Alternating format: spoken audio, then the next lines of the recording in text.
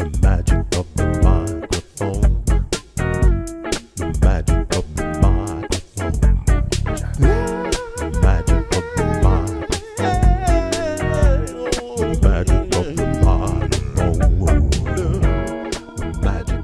microphone. Hello, my name's Anton Browne, and I'd like to welcome you to this uh, series of videos called The Magic of the Microphone. I'm hoping to look at vocal microphones and how they work to some extent, but more importantly, further on with other videos, reviewing some of the more popular microphones and some of the best in the world to uh, help with your choice of microphone for your own voice. But I think it's worth starting with asking the question what is a microphone and how does it do what it does? A microphone is a transducer, it converts the physical vibrational energy of your voice into an electric signal, which is hopefully an exact representation. This is not so easy to do, and there are engineering compromises as you can imagine.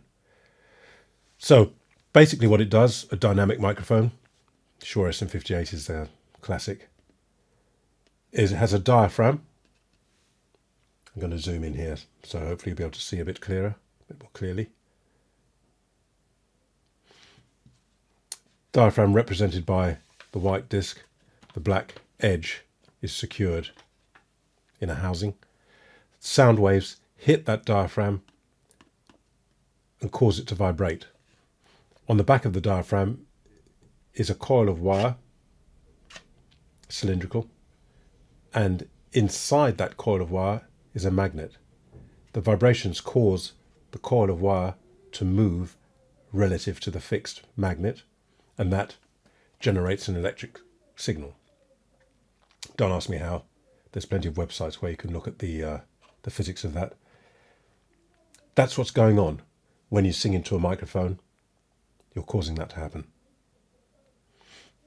I have a broken microphone here, which came as a job lot of a few microphones. There's one in particular I was after, and these were included. And you can see the diaphragm there is under that disc. There's your coil of wire. You might be able to see the magnet in there. And these fine wires take the signal that's generated to the pins on the bottom there. It's a very tiny signal. It needs amplifying a lot. The amplifier amplifies that electric signal and then sends it to the speakers, which are kind of the reverse of the microphone.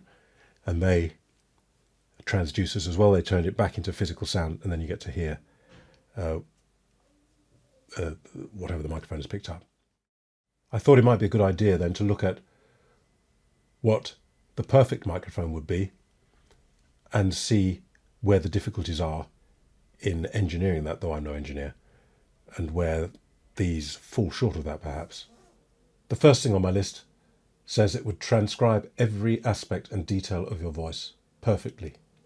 So the tiniest parts to the louder parts to the low parts, all of that would be represented perfectly.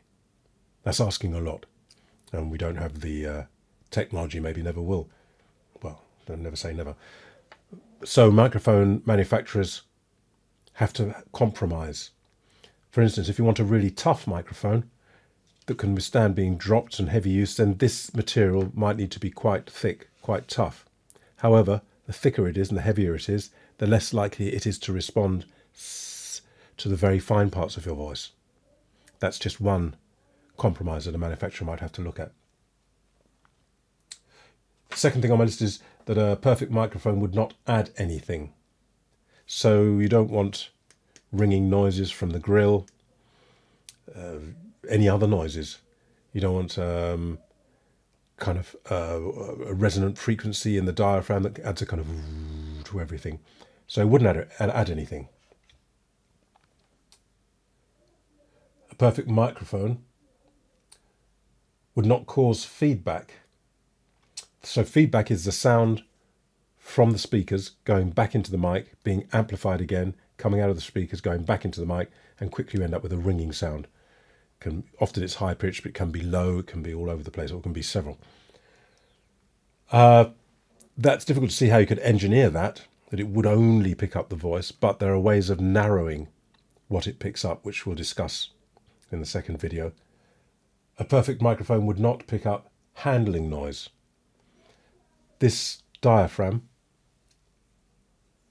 has an elastic suspension around the edge there, so when it sits in there, it's isolated just a little from any vibration here. If I held this to one side, then you can imagine that any vibration on the hand and the body would not be transferred to this. Of course, you can't have you want the whole thing to be in one. So there's various forms of reducing that. It's difficult to eliminate it within something this size. You can see uh, this has an elastic suspension, and the idea of that is that it any noise travelling up the mic stand doesn't affect the microphone. That's the idea of it. Another issue is that it would withstand stage use or abuse. If you had a wonderful microphone, delicate, everything, but the minute you dropped it or knocked it, it broke it. It'd probably be expensive anyway to get a microphone like that, and you had to keep replacing it. It's not, it's not really much good. Keep interrupting the show, it cost you an arm and a leg. So they need to be robust. Again, is a compromise, as you know.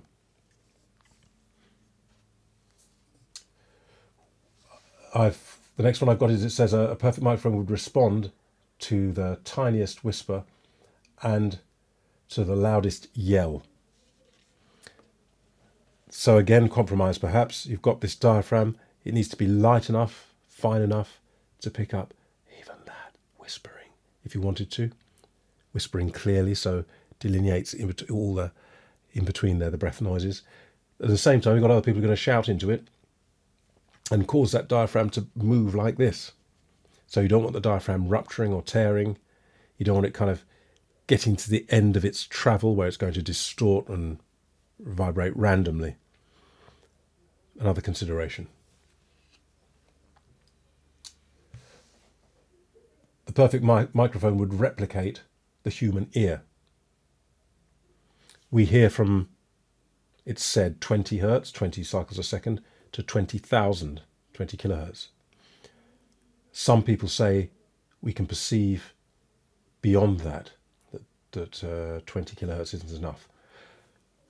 There's no point manufacturing a microphone that goes way beyond human hearing because uh, what's the point in that? It's tough enough to get it to meet human hearing. A lot of them don't go to 20 kilohertz. I think the Shure SM58 goes to 15 or 16 kilohertz. There are some that go from 30 to 20. One I've got goes from 30 kilohertz to 40,000 kilohertz. No need to engineer beyond. It's difficult enough as it is without try, trying to engineer beyond human hearing. There's something else. You look at these graphs and frequency response graphs to get some idea. You've got you've got to you've got to use the thing. You, not only have you got to try them in a shop, really you've got to use them for a while, which is what I've been doing, and I've used them on other people as well. And even then, it's taken me a while to appreciate their idiosyncrasies and what they have to offer. So quite difficult for you, I, I imagine, if you you know, I don't think so many people have spent as much uh, time and so on as I have. Um, so there's something that I wasn't aware of, and that's the speed of a microphone. I was aware of speed in loudspeakers, and what it is basically is how quickly, if I set up a tone like that, how quickly does it get up to speed? And when it when I stop, how quickly does it stop? You probably notice my hand overshot just a little. Bound to because you've got a weight doing this. I know it's a very lightweight, but in its own universe, it's, it's a weight. Uh, and it needs to stop and start and change from one note to the other, go very fast. Whoops, go very go very fast like a fan, yeah. and um, that you can imagine if it doesn't change instantaneously, it can't change instantaneously, but the quicker it changes, the cleaner the sound is to us. So a little bit of smearing, which actually you might you might like. It depends on your all these things. It depends on your voice. So that's why you've got to try them if you possibly can.